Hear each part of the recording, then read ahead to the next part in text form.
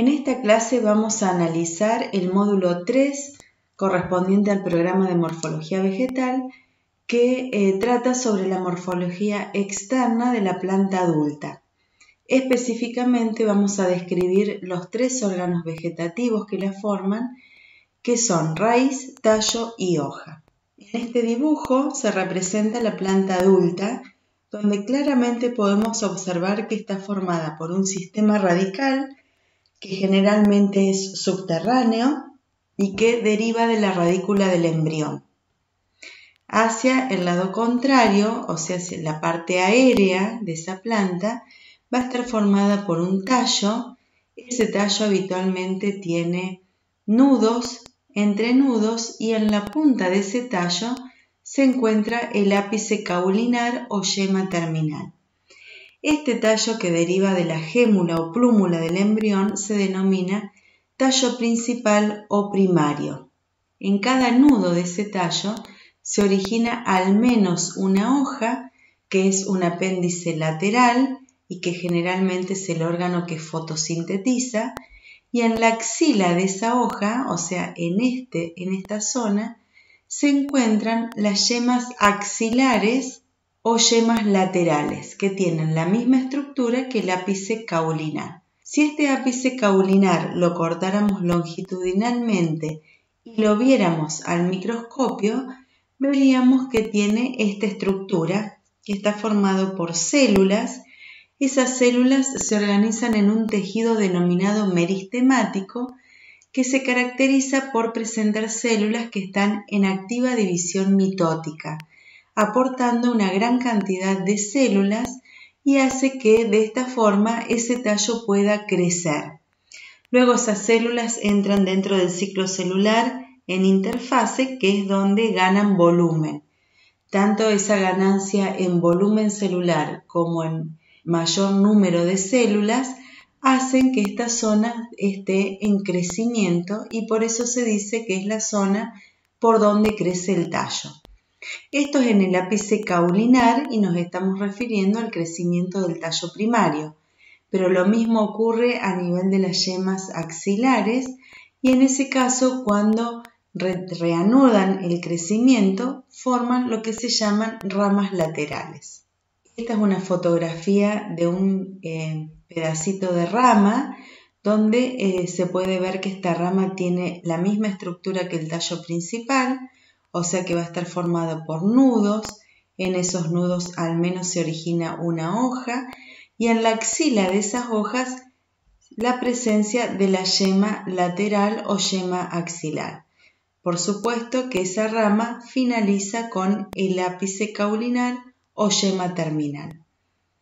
En este caso, como corresponde a una rama de un árbol, se puede observar que esas yemas axilares o ápices caulinares están protegidos por estructuras que se denominan escamas o pérulas, que no son otra hoja que no son otra cosa que primordios foliares de consistencia mucho más dura y que protegen al interior que es mucho más de estructura mucho más frágil. Generalmente estas escamas o pérulas se encuentran en plantas que deben atravesar toda una estación desfavorable que en estas latitudes generalmente corresponden al invierno. Nuevamente tenemos el esquema de una planta adulta, ¿sí? donde tenemos eh, destacados todos los puntos de crecimiento de esta planta por dónde crece esta planta tanto en su sistema radical como en su parte aérea. En la parte radical vemos que tanto raíz principal como raíces laterales, cada una finaliza en el extremo, presenta el ápice radical. Ese ápice radical, si bien tiene una estructura ligeramente diferente al ápice caulinar, también va a estar formado por un tejido meristemático que está en activa, división. Hacia la parte aérea, ya vamos a entrar un poquito más en detalle en ese tallo, vemos que va a estar formado por un primer entrenudo que en el caso de las eh, plantas de germinación epígea corresponde al entrenudo llamado hipocótilo porque se encuentra por debajo del nudo cotiledonar, es decir, la zona del tallo donde se insertan los cotiledones que en este caso están sobre la superficie de la tierra. En la axila de esos cotiledones también eh, se encuentran las yemas axilares que por estar en la axila de los cotiledones toman el nombre de yemas cotiledonares y que en agronomía son de suma importancia porque generalmente desarrollan ramas muy productivas, tanto de frutos como de semillas. El entrenudo que se encuentra inmediatamente por encima del nudo cotiledonal toma el nombre de epicótilo, como ya lo habíamos estado observando en las plántulas, y luego los nudos que se encuentran o se desarrollan por encima ya no tienen ningún nombre en particular y se les llama directamente nudos. En cada uno de esos nudos se origina una hoja y en la axila de esa hoja se encuentra la yema axilar. Por supuesto, ese tallo principal finaliza con la yema apical o también ápice caulinar o yema terminal. Esa sería la estructura general, generalizada de la planta. En este caso se está representando una planta dicotiledónea de germinación epígea.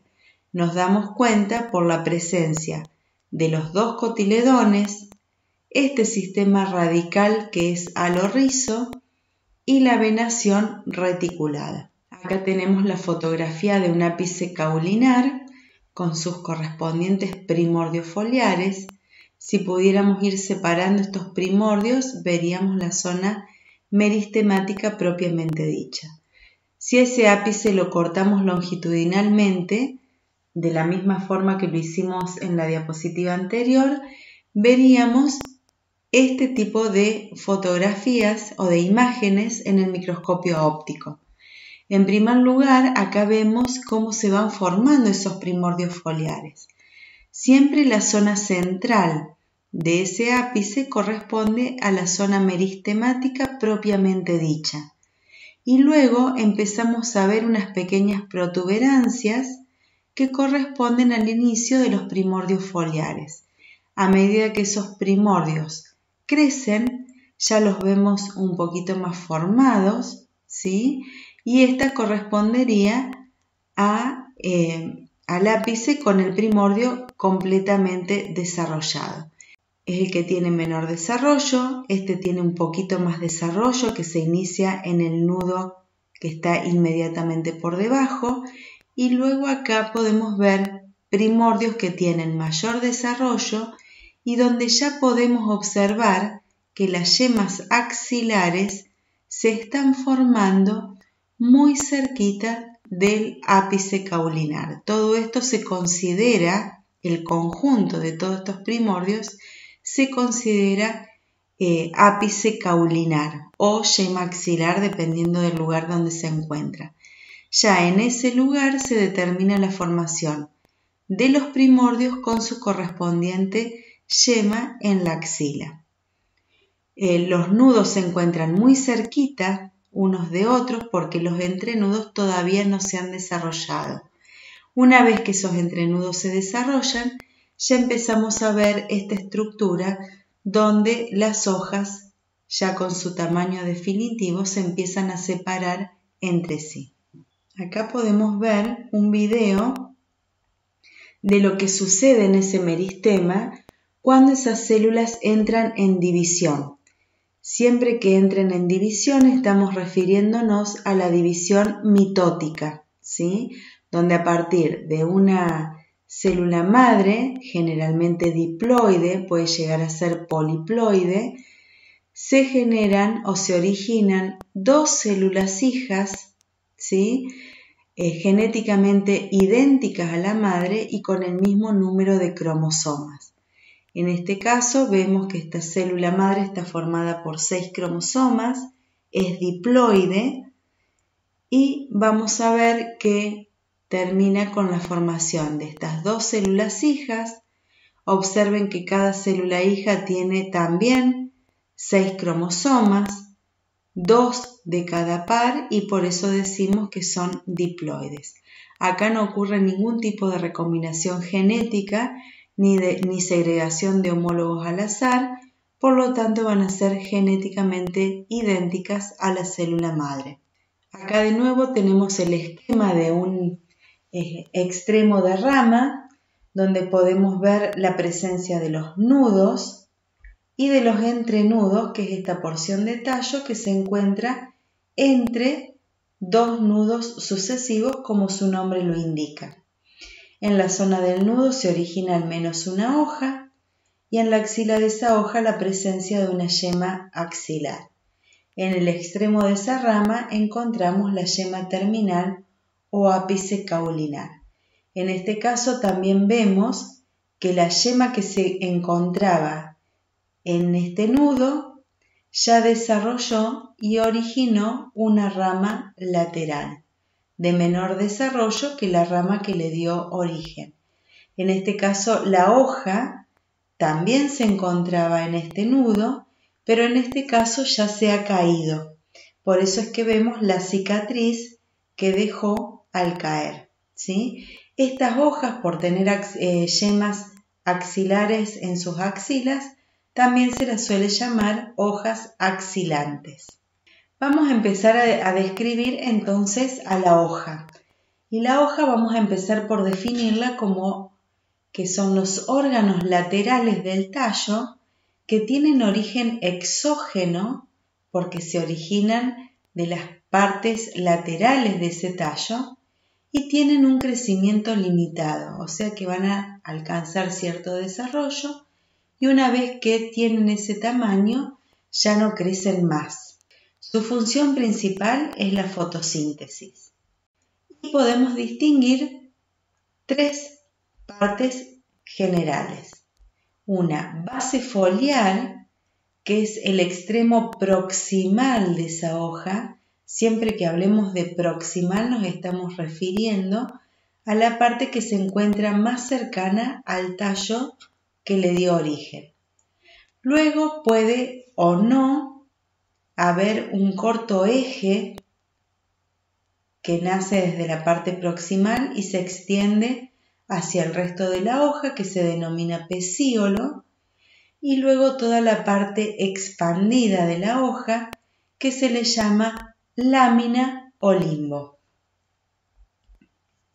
Puede suceder que estas hojas tengan presencia de pecíolo, en cuyo caso se habla de hojas pecioladas, o que esté totalmente ausente y en cuyo caso se clasifica la hoja como sésil o sentada.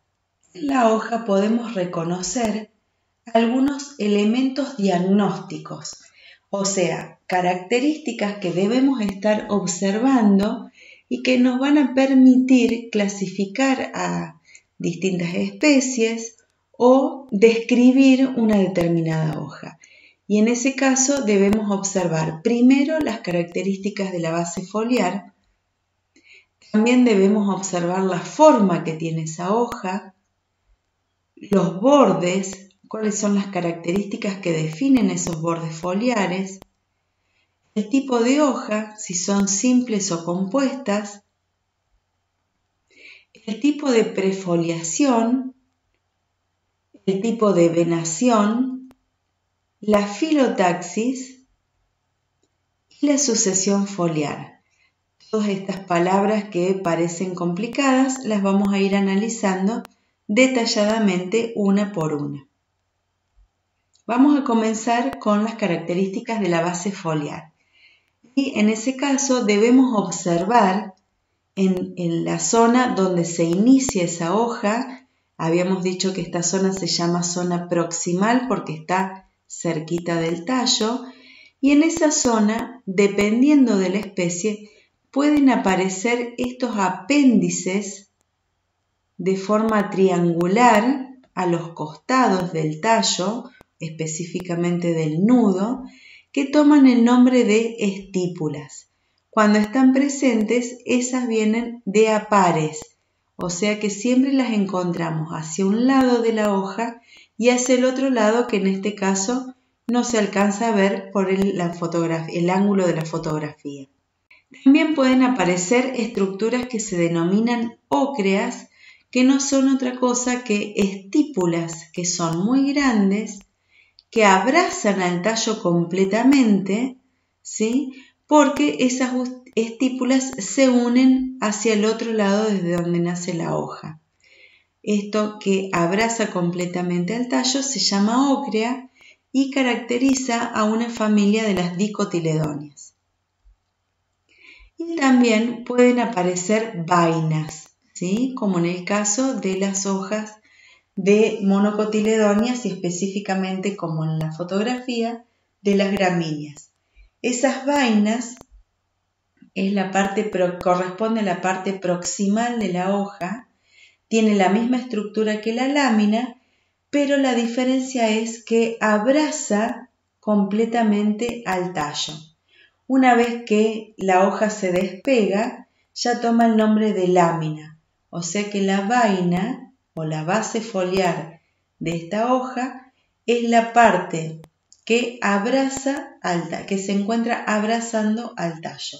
También debemos observar la forma que adquiere esta hoja y esto también es característico de las especies que estemos analizando.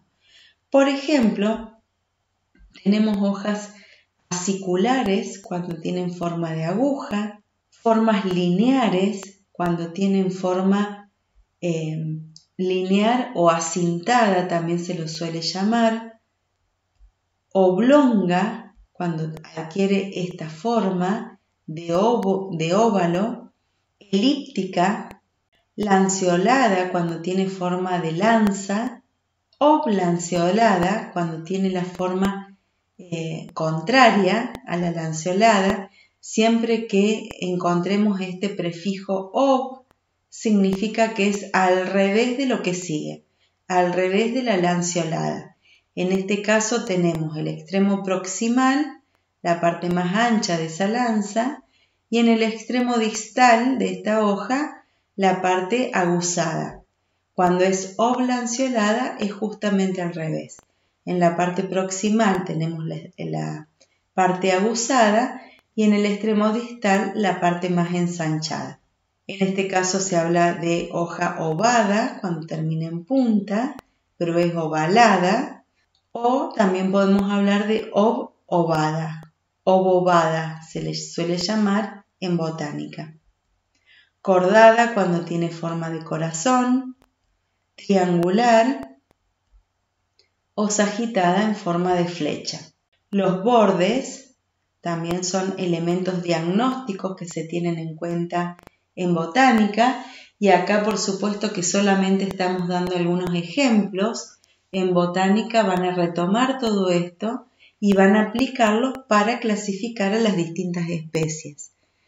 Acá por ejemplo tenemos el borde entero cuando ese borde es liso. En este caso es dentado porque tiene forma de dientes, cerrado cuando tiene forma de sierra, cerrulado cuando también tiene forma de sierra, pero es mucho más eh, chiquita, eh, los dientes son mucho más chiquitos, festoneado cuando tiene ondas, penado cuando esas ondas están ubicadas hacia el extremo distal de la hoja, en este caso es ondulado porque tiene ondas mucho más pronunciadas, o lobulado como por ejemplo ocurre en el roble europeo. También debemos observar las formas que presentan la base y el ápice de esa hoja.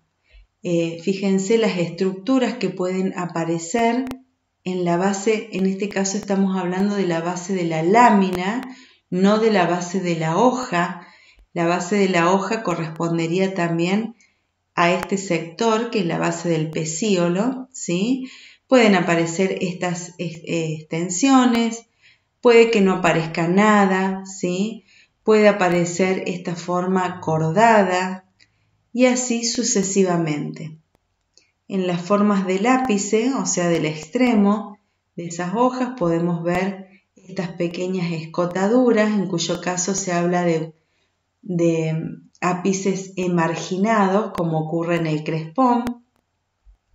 o puede terminar más en punta y se dice que son hojas acuminadas, como en el caso de la rosa de la China, o caudado cuando ese extremo es mucho más pronunciado, que es el caso del ficus. También debemos observar el tipo de venación. Esto ya un poquito estuvimos hablando en plántula y ahora lo vamos a desarrollar más en detalle. La venación corresponde al conjunto de venas o nervios o nervaduras que presenta la lámina o limbo. Y en ese sentido podemos observar que hay hojas que tienen o están formadas por una sola nervadura, como en el caso de los pinos, que corresponde a las gimnospermas o pinófitas. O pueden presentar muchas nervaduras, en cuyo caso se habla de hojas plurinervadas.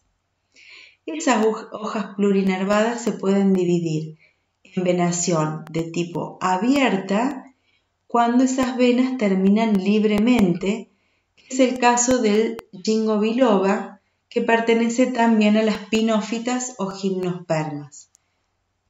O puede ser venación cerrada, en cuyo caso los extremos de esas nervaduras que se van ramificando entre sí se unen y, forman todo un sistema cerrado. Es el caso de las magnoliófitas o angiospermas. Y acá tenemos el caso de las magnoliópsidas o dicotiledóneas, presenta una venación reticulada, y el caso de las liliópsidas o monocotiledóneas, presentan una venación paralela o estriada. Y vamos a ver los, los ejemplos correspondientes. En el caso de la venación abierta dijimos que las nervaduras terminan libremente y que es el caso del Shingo biloba, como se puede observar tanto en el esquema como en la fotografía. En este caso se habla de que la hoja tiene forma flabeliforme porque tiene forma como de bandera. Y acá podemos observar que todas las venas ¿sí? se van disponiendo y terminan libremente. Tal vez acá en el dibujo se observa más claramente. Cada una termina sin unirse a las venas vecinas. En ese caso se llama venación abierta y es plurinervada porque tenemos muchas nervaduras. En el caso de la venación cerrada, como puede ocurrir en las magnoliópsidas o dicotiledóneas, vemos que esas venas ¿sí? se unen a venas vecinas, formando un sistema totalmente cerrado. En el caso de que sea una venación reticulada, se le llama de esta forma porque forma como un retículo o red, donde se puede diferenciar una nervadura central o principal, a partir de la cual se van ramificando venas o nervaduras que son cada vez más pequeñas, ¿sí? formando esta especie de red o retículo. Por eso el nombre que adquiere. Este tipo de venación es típico de la clase dicotiledóneas o magnoliópsidas. En el caso de las liliópsidas o monocotiledóneas, la venación se dice que es estriada o paralela, como se puede observar acá. En este caso también podemos observar una nervadura central o principal. Surgen nervaduras, ¿sí? Pero que son paralelas entre sí, por eso el nombre que adquiere. Este tipo de venación es típico de la clase liliópsidas o monocotiledóneas. También tenemos que observar el tipo de hoja, y el tipo de hoja va a estar definido principalmente por la ubicación de la yema axilar. Si observamos esta hoja, ¿sí? en este caso no está eh, bien esquematizado, pero acá encontraríamos una yema y la presencia de la yema en la axila de esta hoja define que toda esta estructura corresponda a una única hoja. Y fíjense que en este caso la hoja va a estar formada por el pecíolo y la lámina. Y esa lámina encontramos una estructura única. Por eso, en este caso, tenemos una hoja simple. De nuevo, tenemos el tallo, ese tallo va a estar formado por nudos, entrenudos, y en cada nudo se va a originar una hoja. El hecho de que determinemos que esta hoja sea simple, lo vamos a hacer por la presencia de la yema, que en este caso estará ubicada en este lugar. En ese lugar se ubica la yema. Quiere decir que todo esto, no solamente la lámina, sino Toda esta estructura corresponde a, una única hoja. Como no está dividida, le vamos a llamar hoja simple. Y en este caso va a estar formada por el pecíolo y la lámina o limbo.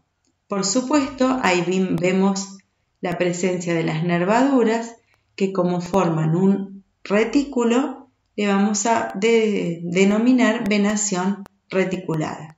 Si tuviéramos que describir esta hoja, podríamos decir que es una hoja peciolada porque presenta pecíolo, cordada por su forma de corazón, el borde aserrado y es retinervada o venación reticulada.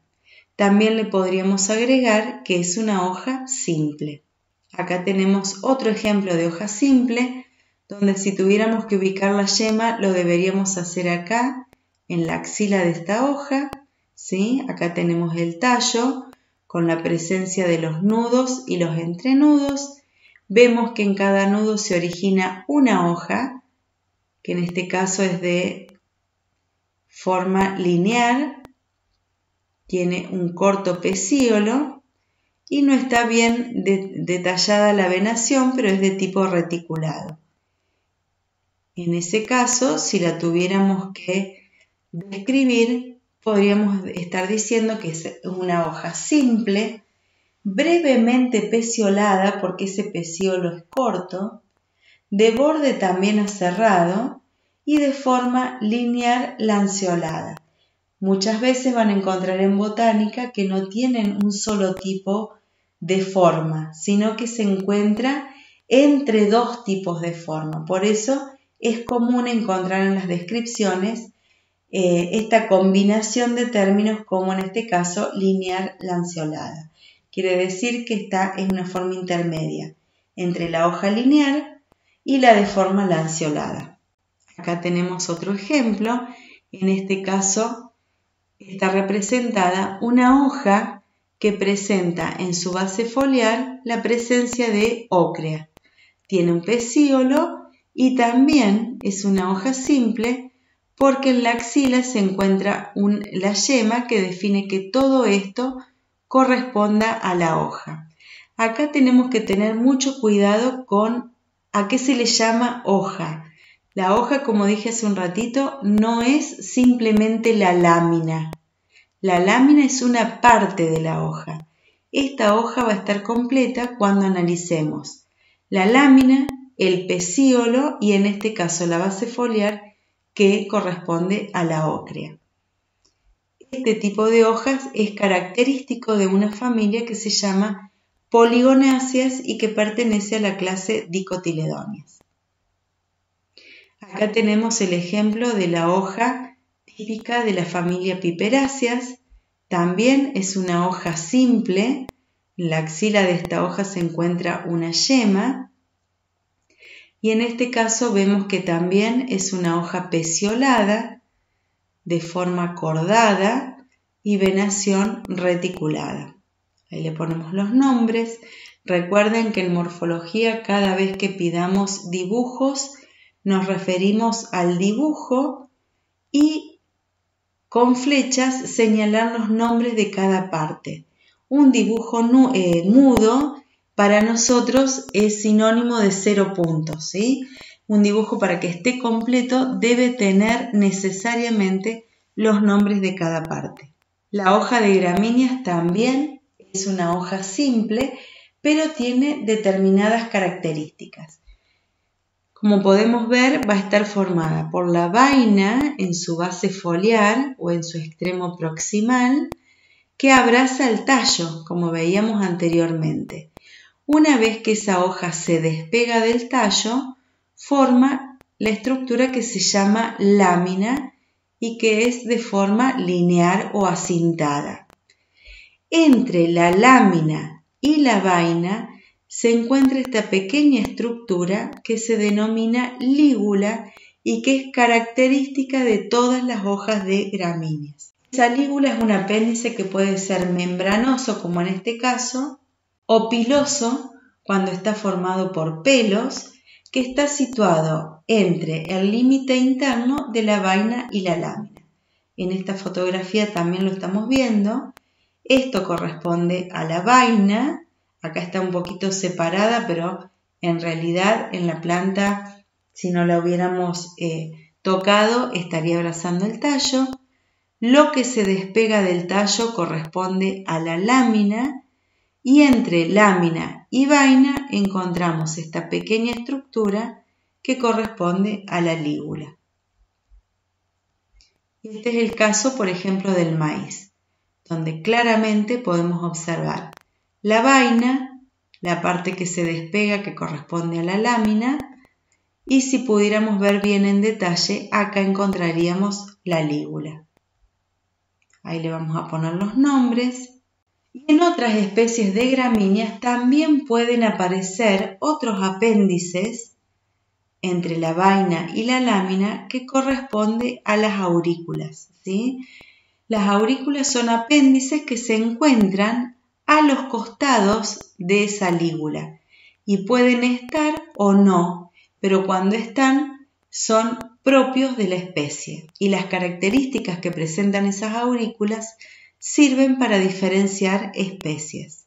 Acá lo vamos a ver un poquito más en detalle en el esquema. Tenemos ese tallo, ¿sí? que vulgarmente en las gramíneas se le llama caña, pero que no es otra cosa que el tallo y que va a estar formado por nudos y entrenudos. En los nudos se origina la hoja, que esa hoja va a estar formada por la lámina y por esa vaina abrasadora el sitio de origen de esta hoja es el nudo, es este sector. Muchas veces se confunden pensando que este es el origen de la hoja cuando piensan que la hoja solamente está formada por la, por, perdón, por la lámina. ¿sí? Eso es erróneo. En esa zona es donde se encuentra la lígula. En realidad el sitio de origen de la hoja siempre es el nudo que se encuentra sobre el tallo. A partir de ahí se origina la vaina que abraza el tallo, luego se despega y forma la lámina y entre ambas estructuras se encuentra la lígula. Esta hoja simple acintada va a estar formada por las tres partes, lámina, lígula y vaina. Recuerden, la hoja de gramíneas no es simplemente la lámina, son las tres partes, ¿sí? En algunas especies también aparecen esas estructuras llamadas aurículas a los costados de la lígula, ¿sí? Acá tenemos el esquema de un pedacito de esa hoja. Sería el pedacito correspondiente a esta parte de la hoja, donde vemos parte de la vaina, parte de la lámina, entre ambas la presencia de la lígula y en este caso la presencia de aurículas que también va a abrazar al tallo. En este caso, esta hoja es típica de las ciperáceas, se puede ver una lígula de tipo membranosa y la presencia de aurículas bastante desarrolladas. En el caso de la cebada, ¿sí? también esa lígula membranosa en el caso de las especies correspondientes al género Cetaria, tiene una lígula que es parte membranosa y parte pilosa. O en el caso de las especies que forman el género Eragrostis, que corresponde al pasto llorón, por ejemplo, tiene una lígula que es totalmente pilosa. Todas estas características son observadas por los botánicos para diferenciar a las especies o en este caso a géneros e incluso a familias. Otra característica que también se observa, y esto se observa a nivel del ápice caulinar, o podría ser también a nivel de yemas axilares que tienen la misma estructura, es cuando cortamos transversalmente ese ápice caulinar. La fotografía que les presentaba en las primeras diapositivas correspondía al corte longitudinal del ápice, es decir, un corte que se da en forma paralela al eje mayor de ese ápice. Cuando hablamos de corte transversal nos referimos al corte que se hace en forma perpendicular al eje mayor del órgano. Y cuando las miramos desde arriba, encontramos estas estructuras formadas por los primordios foliares. Y en este caso la prefoliación se le llama a la disposición de esos primordios foliares en la yema o ápice caulinar. Y así tenemos dos tipos. Tenemos el tipo conduplicado, que corresponde a este dibujo, donde podemos observar que los primordios se encuentran plegados y se van ubicando como si fuesen hojas de un libro. ¿sí? Acá tenemos un primordio y hacia el otro extremo tenemos el otro que se encuentra hacia el interior del primero y así sucesivamente en forma plegado. El otro tipo de prefoliación corresponde al convoluta. En este caso, los primordios se van enrollando unos con otros en forma de espiral, como se puede observar en esta planta. ¿sí? Estos serían los primordios foliares, de tipo prefoliación de tipo convoluta y en este caso sería prefoliación de tipo conduplicada. Acá vemos más ejemplos de hojas simples de gramíneas con diferente desarrollo de aurículas que corresponden a distintas especies. ¿sí? En este caso, la presencia o ausencia de aurículas y las características de las lígulas nos permiten diferenciar especies. En el caso de la vena sativa, que carece completamente de aurículas, el Bromus catharticus, que es la cebadilla criolla, muy común en, los céspedes, presentan aurículas que tienen 1 a 2 milímetros de longitud, o sea que son pequeñas. En el caso de la cebada, ¿sí? con aurículas glabras, que significa que no tienen pelos y que tienen más de 3 milímetros, o sea que se consideran muy desarrolladas. El caso del trigo, que tienen aurículas de tamaño intermedio. El centeno, que tiene aurículas que tienen un tamaño similar a las del trigo. O el lolium perenne, que es el raigras, ¿sí? con aurículas muy pequeñitas. Acá de nuevo tenemos un esquema de la hoja de gramíneas con la presencia de la vaina abrazando el tallo, la lámina que se despega y en el medio, entre ambas estructuras, esta presencia de aurículas que son apéndices que abrazan al tallo. Si le pudiéramos sacar el tallo, veríamos también la presencia de la lígula. Todos estos ejemplos que estuvimos analizando corresponden a hojas simples. Ahora, hay especies que se dice que tienen hojas compuestas y eso es cuando encontramos una lámina que a su vez está dividida. Y de nuevo tenemos que recurrir a la presencia de la yema axilar para definir si una hoja es simple o compuesta. En este caso, tenemos una planta adulta, retiramos una de las hojas y acá vemos el detalle. En este caso no lo alcanzamos a ver en el dibujo, pero la presencia de la yema se ubicaría en este lugar, definiendo que absolutamente toda esta estructura corresponde a una única hoja. Si la comparamos con la hoja simple, podemos ver que la hoja simple hubiera tenido el pecíolo y la lámina como una expansión sin dividir. Y en este caso no encontramos eso, sino que encontramos que esa lámina se encuentra dividida en seis partes. En ese caso se habla de hoja compuesta, porque la lámina está dividida. Vamos a empezar a ponerle nombres a esas partes, ¿sí? Donde vemos que el eje que la sostiene al nudo del tallo corresponde al pecíolo. Este, según la especie, puede estar presente o no, de la misma forma que en las hojas simples. En la base foliar, en este caso, se encuentran las estípulas y siempre que digo en este caso me refiero a la especie que estemos analizando en particular. Puede haber especies que no tengan estípulas. Luego ese pecíolo, a partir de la inserción de estas primeras estructuras, toma el nombre de raquis. El eje que sostiene a cada una de esas partes se denomina peciolulo o peciolulo. Y cada una de esas partes en que se divide la lámina toma el nombre de folíolo. Acá presten especial atención que este es el vocabulario específico para una hoja compuesta. Acá no podemos hablar de lámina, por ejemplo, porque la lámina ya no está presente, ha sido dividida en folíolos.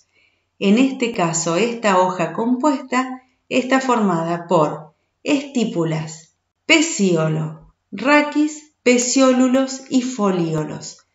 Todas estas partes corresponden a una única hoja.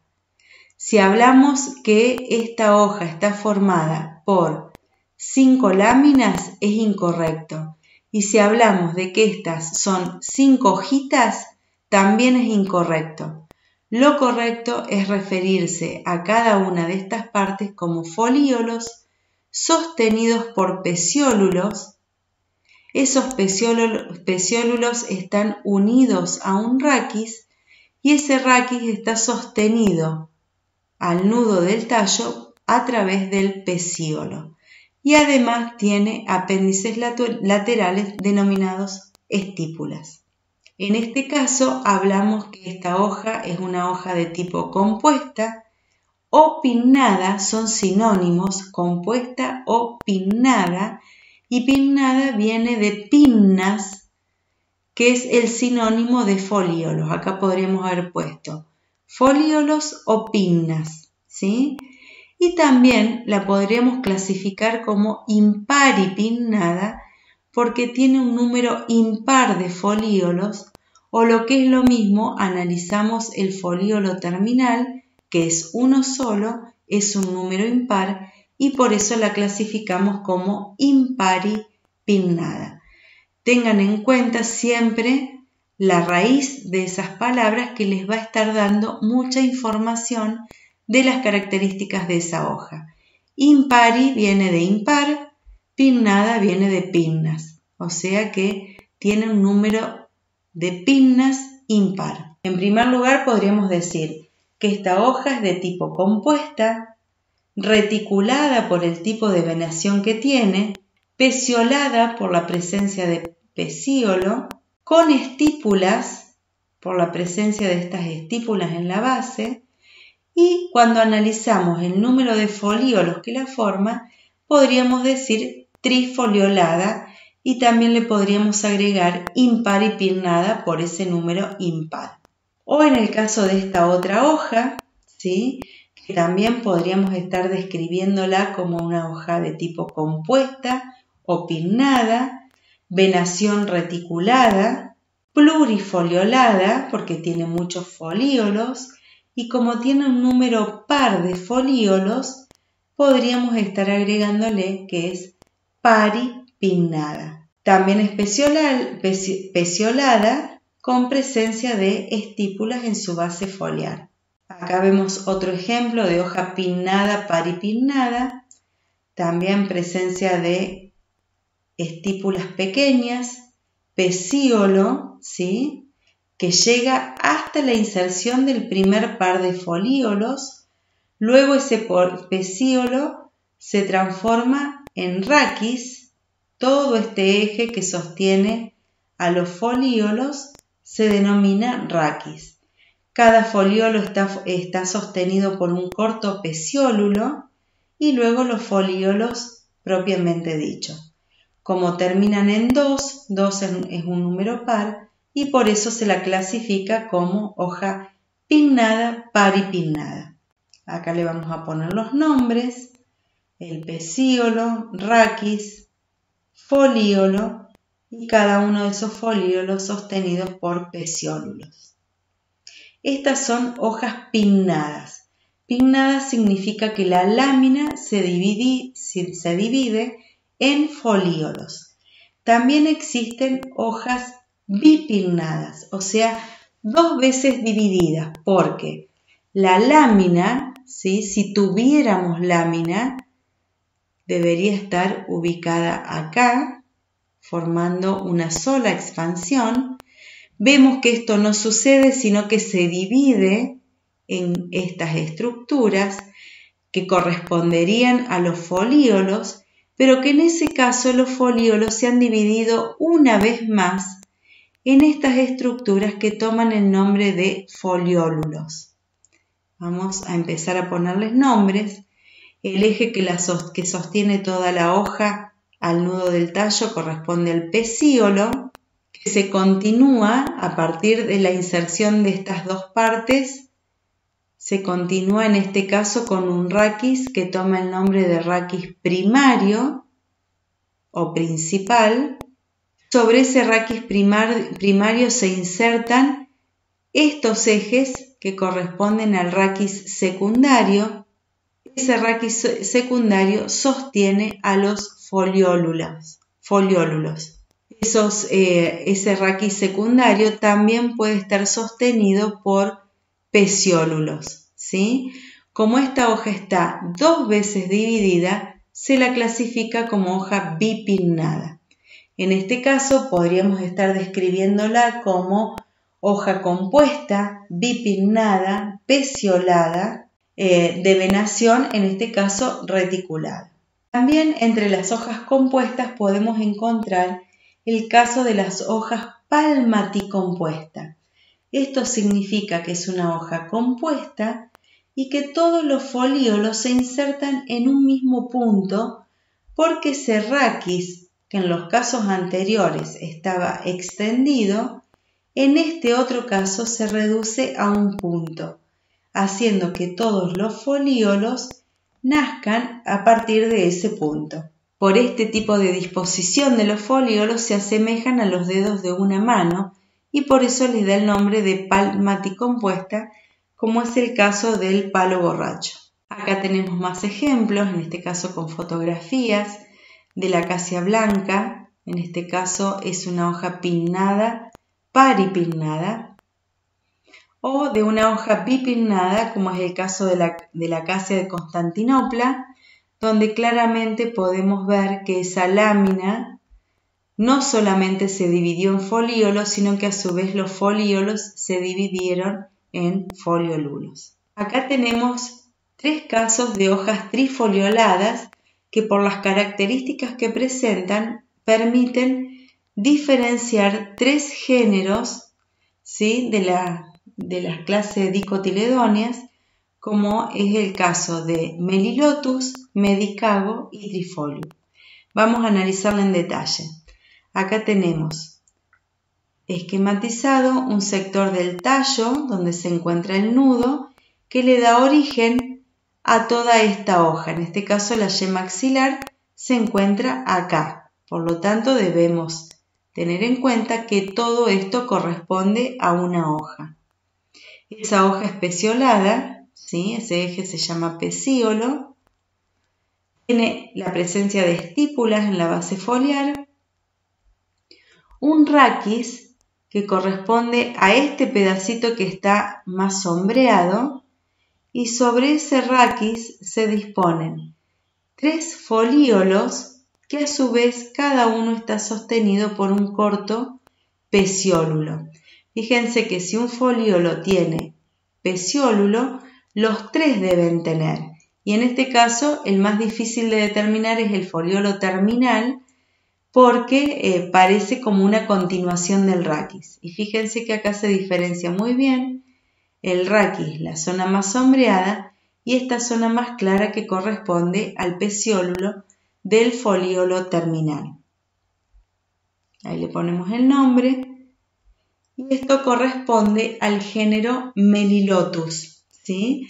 donde podemos observar que es una hoja trifoliolada, pero los bordes de los folíolos son aserrados. En el caso de Medicago, que es el género al que pertenece la alfalfa, ¿sí? también tenemos las mismas estructuras que el caso anterior, pero observen que las estípulas tienen mayor desarrollo y que además estos folíolos presentan una mitad aserrada y mitad entera.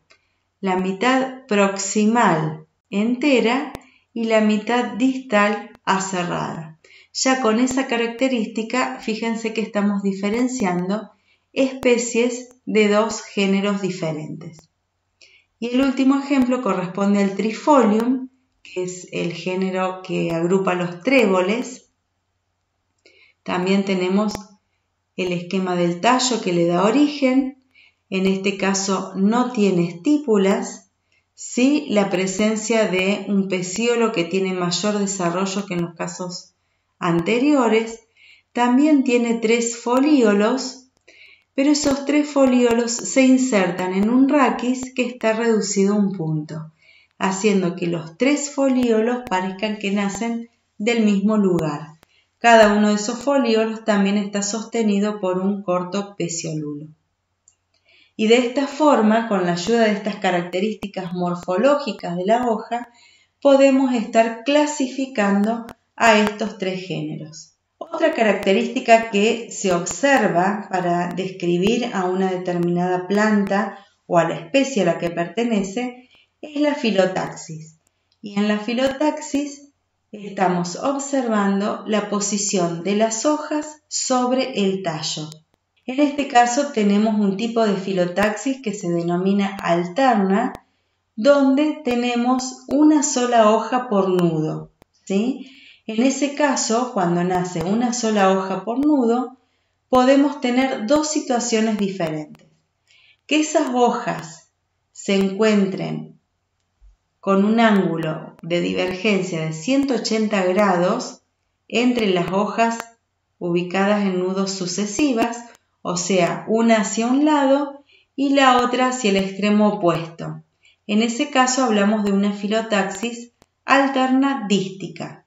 Fíjense que la definición dice que son hojas ubicadas a lo largo del tallo según dos ortósticos, los ortósticos son líneas imaginarias que podríamos trazar si a esta planta la observamos desde arriba y que podríamos trazar una línea imaginaria que pase por las hojas que se ubican hacia este lado y otra línea imaginaria sobre las hojas que se ubican hacia el otro lado. ¿sí?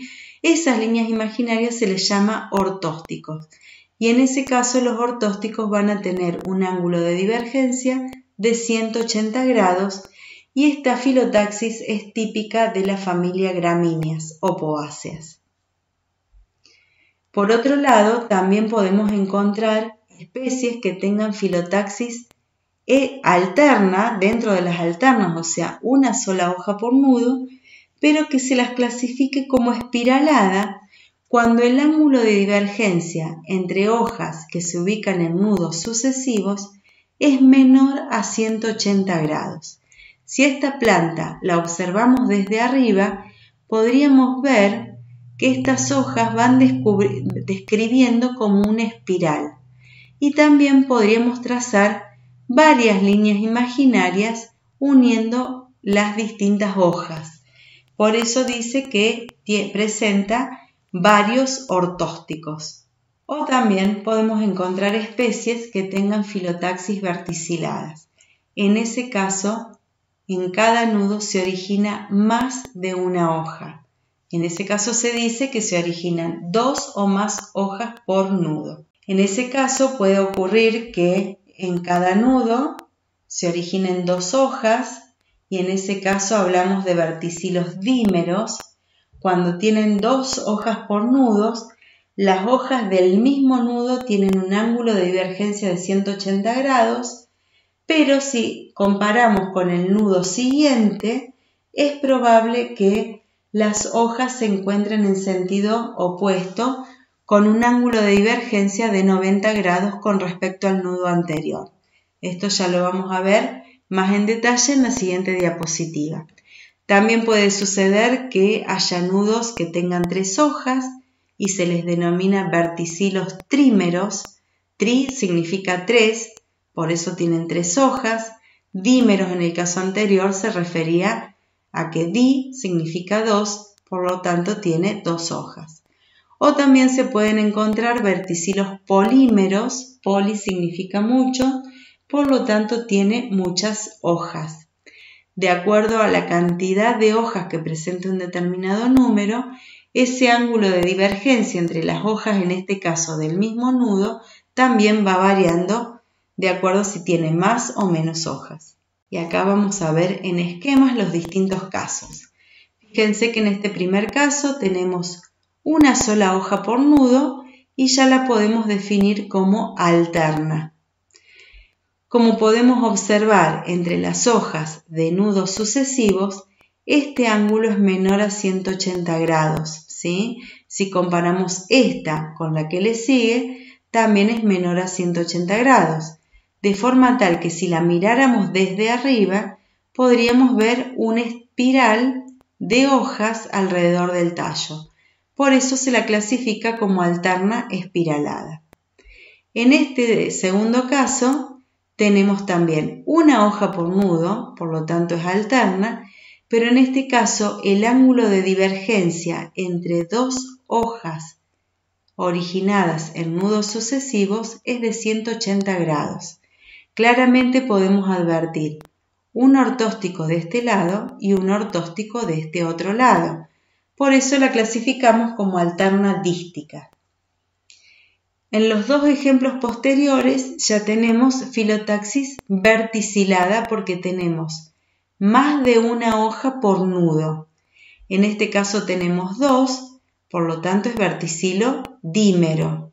Fíjense que el ángulo de divergencia entre las hojas del mismo nudo es 180 grados. Lo, mismo ocurre en el nudo siguiente, pero si consideramos dos nudos sucesivos, vemos que el ángulo que se forma entre estas hojas y las del nudo inmediatamente por debajo es de 90 grados. Eso es lo que decíamos en la diapositiva anterior. Y en este caso tenemos verticilos polímeros donde podemos apreciar la presencia, en este caso, de seis hojas por nudo y por eso también se la clasifica como filotaxis verticilada. Acá tenemos fotografías de filotaxis verticiladas con verticilos dímeros. En este caso también se le puede llamar hojas opuestas cuando su ángulo de divergencia es de 180 grados. O en este caso, un ejemplo de un verticilo trímero donde se pueden observar tres hojas. Fíjense que la raíz de la palabra les está indicando el número de hojas que tiene ese verticilo. En estos esquemas se representa el, la filotaxis. Cada círculo representa un nudo y estas estructuras más sombreadas representan simbólicamente las hojas que se ubican en ese nudo. los círculos más externos representan los, los nudos basales y a medida que nos acercamos al ápice tenemos los círculos más internos. Entonces, la forma de analizar esto es, esto es un nudo y en este nudo se ubican una, dos, tres, cuatro hojas. Por eso es una filotaxis verticilada. En el nudo que le sigue, hacia arriba, hacia el lado del ápice, encontramos que también tiene cuatro hojas una, dos, tres, cuatro, no necesariamente alineadas con el nudo anterior, ¿sí? Así sucesivamente hasta llegar al ápice, de forma tal que podríamos trazar líneas imaginarias que corresponden a los ortósticos entre la ubicación de las distintas hojas en los distintos nudos. En este caso vemos que tenemos 1, 2, 3, 4, 5, 6, 7, 8 ortósticos. En el caso que le sigue, eh, es un caso de verticilos dímeros.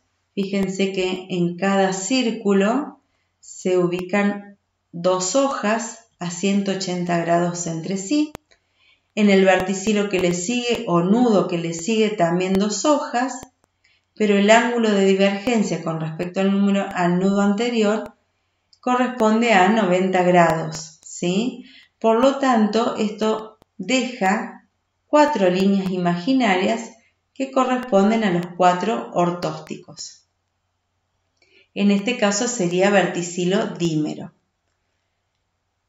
Los dos esquemas que están acá abajo corresponden a la filotaxis alterna, es decir, que solamente se ubica una hoja por nudo, como se puede observar en el gráfico, donde solamente se representa una hoja en cada círculo. ¿sí?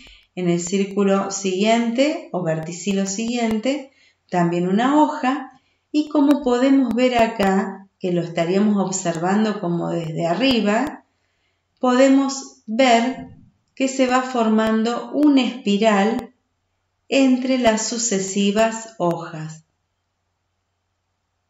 pudiendo trazar varios ortósticos. ¿sí? Por eso en este caso hablamos de alterna espiralada o en este otro caso que corresponde a la filotaxis alterna dística porque tenemos una sola hoja por nudo, pero el ángulo de divergencia entre dos hojas sucesivas es de 180 grados. Tendríamos que comparar esta con la del verticilo siguiente, hacia un lado y hacia el otro.